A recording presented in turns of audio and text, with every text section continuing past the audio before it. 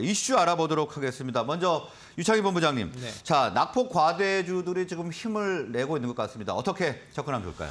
네, 뭐 오늘은 약간 조정이 나오고 있지만 전체적으로 봤을 때 저는 시장은 다시 한번 지난주 화요일 정도, 그러니까 코스피로 치면 2,450포인트 대까지 반등 여력은 남아 있다라 보고 있어요. 다음 주 FMC까지 해서요. 그렇기 때문에 어, 왜 그러냐면 어저께 그 이게 기술적인 모든 게 다 맞는 건 아니지만 저점 대비 강한 반등을 준 자리가 쉽게 깨기는 어려울 수도 있다 생각 좀 하고 있습니다. 뭐 갑자기 미국 지시가 뭐 폭락이 나오지 않는다라면요. 그래서 약간 수급적인 아쉬운 감은 있지만 저는 추가적인 상승 좀 기대해 볼 수 있고 그러면 어쨌든 초반에는 낙폭과대 종목군들 좀 볼 수밖에 없다 생각을 좀 하고 있습니다. 또 해외 시황도 나쁘지 않아요. 어쨌든 지금 이스라엘 그 이스라엘 사태가 어느 정도 이제 어그 장기전으로 가긴 하겠지만 뭐 중동 국가들이 참여할 가능성이 상당히 낮죠.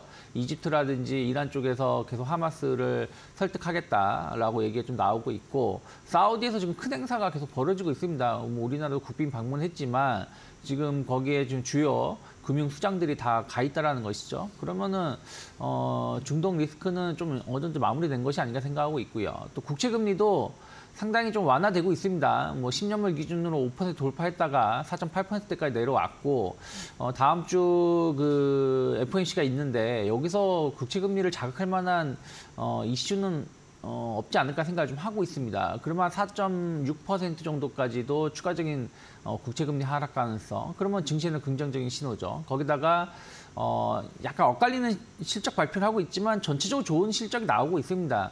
알파벳도 어, 클라우드 시장 성장이 예상보다 못해서 그런 것이지 전체 실적은 좋게 나왔어요. 그래서 어, 이런 실적 어, 본격적인 earning 시즌 이런 부분들도 투자자들의 심리가 좀 개선될 수 있지 않을까 생각을 좀 하고 있습니다. 그래서 저는 낙폭과대주들 오늘 뭐 2차 전지는 어쩔 수 없이 뭐 흔들리고 있습니다만은 충분히 뭐 저가 매수할 수 있는 위치라 생각하고 있고요.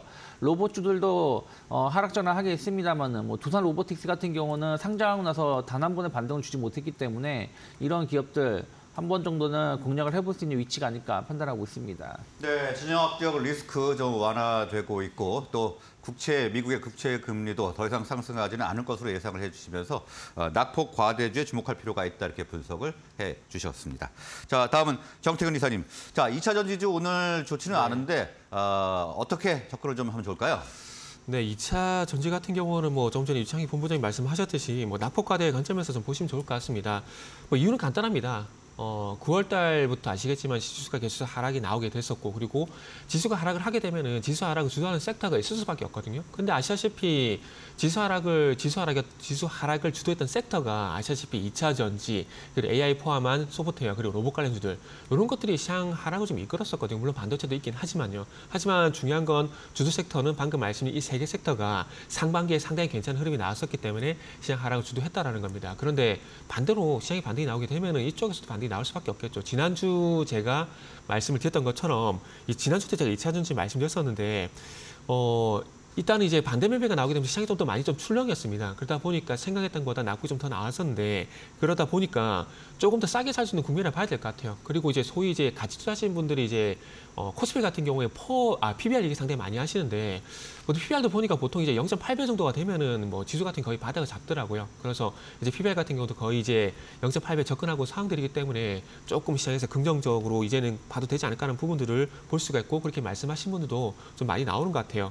그리고 뭐 저도 참고 삼아 시장에 대한 부분 좀 말씀드리면은 이게 어쨌든 시장의 가장 큰 악재가 이제 통화 정책에 대한 불확실성이라고 좀 보고 있거든요. 그런데 지난주 10월 17일 날 뭐 언론 기사에 나온 부분들을 보게 되면은 지난주에도 말씀드렸지만 연준 내에서 금리 동결 분위기가 전반적으로 확산이 되고 있다는 얘기도 좀 언급을 드렸어요. 근데 이게 단연 뭐 비둘기푸파뿐만 아니라 매파 쪽 같은 경우도 그 크리스토퍼 월러 연준이사 같은 경우는 상당히 매파적인 분입니다. 그런데 이분이 그 국제금리 상승으로 인해 가지고 이제 금, 연준에서 금리 인상을 할 이유가 없다는 그런 식의 얘기를 했었거든요. 그러면서 금리 동결이라는 얘기를 계속하고 있는 상황입니다. 그리고 이 로리 로건 델러스 총재 같은 경우도 매파인데 이분도 마찬가지로 비슷한 얘기를 하고 있는 상황들이고요. 근데 공교 롭게도 이런 얘기가 나오고 난 이후에 어제 그 소위 말하는 그 채권 쪽에 헤지펀드 왕이라고 하죠. 빌 애크먼이라는 사람이 미 장기채에 대해서 더 이상 이제 쇼스 제의를 하지 않겠다. 그러니까 장기채에서 매도를 하지 않겠다. 그러니까 채권을 매도하게 되면 금리는 올라가게 되거든요. 그러면 금리가 올라가게 되면 장기채 금리가 올라가게 되는데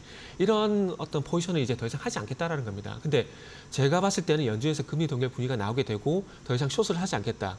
저는 이게 우연이 아니라고 봅니다. 다 연결성이 있다고 보거든요. 그렇다면은 지금 어쨌든 중동 리스크라든지 그리고 이 국채금이 상승했다 포지션이 조금만 완화가 되게 된다라면은 저는 개인적으로 통화 정책에 대한 불확실성은 해소가 되게 되고 시장의 어떤 그 변동성에 대한 부분들은 이 부분은 정확하게 2320에서 딱 뭐 바닥 잡다. 요거는 솔직히 설명드리기 힘듭니다. 그러나 조금 전에 말씀드렸듯이 이런 현상들 통해서 바닥이 멀지 않았다. 이런 부분들은 추측이 충분히 가능하다라는 거죠. 그래서 그런 부분들을 보게 된다라면은 어 일단 충분히 지난주부터 어 바닥에 잡는 바닥에 대한 가능성은 충분히 있었던 부분들이 있고 그리고 어제까지 보니까 반대 매매가 한 2주 정도 나왔더라고요. 이렇게 본다라면은 이 반대 매매에 어떤 우려 반대 매매만 조금 완화가 되게 된다라면은 전 시장은 충분히 어 추가 하락은 적어도 제한이 된다라고 좀 판단을 하고 있는 상황입니다. 그러다 보니까 어 시장이 반대에 나서게 되면은 낙폭과대에 대한 관심을 가져야 되는 부분들이고 그러다 보니 까 2차 전지가 낙폭이 상당히 컸었기 때문에 관심을 가져야 된다는 부분들이죠. 그리고 2차 전지에서 또 어떤 섹터를 볼 것이냐 이것도 관건인데 어, 2차 전지 내에서는 뭐 리튬 관련주라든지 그리고 LFP 관련 종목을 좀 볼 수밖에 없을 것 같습니다. 어, 일단은 뭐 흑연술 통제 이 부분은 짧게 말씀드리면은 이거는 걱정 안 하셔도 될 것 같아요. 전기차 침체가 전기차 시장이 어쨌든 조금 정체에 들어간 상황들이기 때문에 자칫 찬물을 끼얹을 수가 있, 있거든요. 그렇기 때문에 아마 엄퍼 정도로 끝이 나지 않을까 생각이 들고 그리고 아까 포스코 인터 잠깐 말씀드렸었는데 포스코 인터 같은 경우 이제 파트너사인 넥스트 소스라는 회사를 통해 가지고 마다가스카르 광산에서 이제 생산한 흑연을 선적을 완료를 했습니다. 그래서 여기 생산된 흑연을 받아 가지고 포스코 퓨처엠 같은 경우는 충분히 응급제 생산이 가능하기 때문에 이게 뭐 다 대체는 안 될 겁니다. 하지만 어쨌든 옛날처럼 완전히 뭐 아예 방법이 없는 건 방법이 없는 그런 상황은 아니기 때문에 이전보다는 조금 나았다라는 것들이죠. 그리고 이제 최근에 뭐 국내 이제 같은 경우도 뭐 기아도 그렇고 이제 KG 모빌리티도 그렇고 이 BYD에 어, LFP 배터리 채용하 채택하는 숫자가 좀 많이 늘어나고 있기 때문에 그와 관련돼 가지고 이제 뭐 방금 말씀드린 리튬 관련주라든지 이제 LFP 관련주를 보게 된다라면은 하이드로 리튬, 리튬, 리튬 포어스 그리고 뭐 탑 머티리얼, 뭐 KGTS 뭐 이런 종목들을 좀 볼 수가 있을 것 같습니다. 네, 2차 전지주 계속해서 주목할 필요가 있다 이렇게 정리를 해보고요. 하이드로 리튬, 리튬 포어스, 탑 머티리얼 등 주목할 필요가 있다 분석을 해봤습니다. 자, 다음 관심 정보 알아보도록 하겠습니다. 먼저 유창희 본부장님. 네, 저는 신성 ENG를 좀 선정을 좀 해봤습니다. 음, 반도체 관련된 종목군들 섹터를 좀 봐야 된다 생각을 좀 하고 있고요. 근데 다만 이제 어, 그들 종목이 많이 올라간 것들이 부담되더라면 반도체 인프라 관련된 기업들도 충분히 가격적인 메리트에 들어왔다라고 보고 있습니다. 어, 환경 규제가 계속 심화되는 부분들이 좀 있고요. 또 하나가 첨, 최첨단 제품, 그러니까 난이도가 높아질수록 이 드라이룸, 클린룸에 대한 어떤 수요는 더 높아질 수밖에 없다 생각을 좀 하고 있습니다. 그리고 이제 그 기존에는 반도체 쪽 관련해서만 이쪽 그 드라이룸, 클린룸이 사용이 됐다라면 어, 이제는 2차 전지라든지 뭐 태양광이라든지 뭐 이런 쪽으로 해서도 계속해서 이쪽 관련된 수요가 어, 커지고 있습니다. 신성 ENG 같은 경우는 삼성전자향 매출 비중이 한 60% 차지하고 있고요. 그래서 이제 반도체 쪽그 어, 매출 비중이 상당히 높은데 최근 들어서는 2차 전지라든지 뭐 태양광 사업 부분이 어, 계속해서 성장을 좀 하고 있다라고 보시면 될 것 같습니다. 어, 뭐 안정적인 외국인 수급들, 그러니까 뭐 외국인 기관 모두 다 매수가 들어오면 좋은데 뭐 그래도 일단은 그 외국인들이라도 신성 ENG 같은 경우는 조금 그 2,000원 이하에서는 어, 조금 강한 어, 매세가 좀 유입되고 있거든요. 그래서 그런 부분들도 전 수급적으로 나쁘지 않다 생각 좀 하고 있습니다. 2,300원서부터 외국인들이 좀 꾸준하게 매수가 유입되고 있는 걸 파악한다라면 지금은 낙폭과대 인식에 따른 어떤 가격적인 메리트 그리고 2분기 실적은 약간 미스한 부분들이 좀 있는데 3분기, 4분기 쪽에 대한 어떤 기대감도 감안한다라면 어, 충분히 한 2,200원대까지 혹은 반등은 충 나올 수 있다 생각하고 있고요. 한 1,700원, 뭐 한 1,800원 마크 이탈하지 않는다라면 어, 분할 매수 해볼 수 있지 않을까 생각하고 있습니다. 네, 신성 ENG 오늘 분석을 해주셨는데요. 자, 전방 산업 성장에 수혜가 기대되는 점 포인트로 짚어주셨습니다. 다음은 아, 정태근 이사님. 네, 저는 오늘 하나 마이크론 반도체 소부상자재 준비를 좀 했습니다. 어, 일단 TSMC가 2024년도까지 고급 패키징 생산 능력을 두 배 정도 확대를 한다고 합니다. 이거는 이제 아시겠지만 엔비디아가 이제 고객사인데 엔비디아 했던 그 GPU, 뭐 B, 내년 같은 경우에 B100이 나올 예정이고 지금은 A100, H100에는 수요가 많이 증가를 하다 보니까 뭐 이런 결정을 좀 한 것 같습니다. 그러면은 일단 이제 그 엔비디아 쪽에서 주문 물량이 늘어나게 된다라면은 당연히 이제 HBM에 대한 수요도 증가를 할 수밖에 없다라고 좀 봐야 될 것 같아요. 그렇게 본다라면 당연히 삼성전자 그리고 특히나 하이닉스가 최대 수혜라 좀 봐야 될 것 같은데 하이닉스 같은 경우는 아시겠지만 내년 2분기에 출시가 예정이 되어 있는 이제 GPU인 B100도 그렇고요. 그리고 GH200 같은 경우도 HBM3를 즉 거의 뭐 독점적으로 공급하기로 결정이 된 상황입니다. 그렇게 본다라면은 충분히 SK 하이닉스 수혜가 될 수밖에 없고 이런 부분들이 질적 그 성장뿐만 아니라 양적 성장도 좀 기대가 되는 게그 소위 말하는 이제 어 AI 반도체 같은 경우에 GPU하고 이제 HBM이 들어가게 되는데 보통 HBM이 4개 정도 들어가거든요. 근데 이거를 이제 12개까지 탑재를 시키는 기술까지 이제 고안 중이라고 하니까 4개가 최소 8개가 되고 이제 capa가 두 개가 되니 두 배가 되니까 여덟 개가 되겠죠. 그리고 만약에 열두 개가 되게 된다라면은 이게 또 이제 느- 생산력이 늘어나게 되면 스물네 개까지도 늘어날 수가 있다라는 거죠. 그래서 지금의 네 개가 여덟 개에서 스물네 개 정도 될 수밖에 없기 때문에 질적 성장과 양적 성장이 두, 대- 두 배로 올 수밖에 없는 부분에 봐야 될 것 같습니다. 그렇게 본다라면은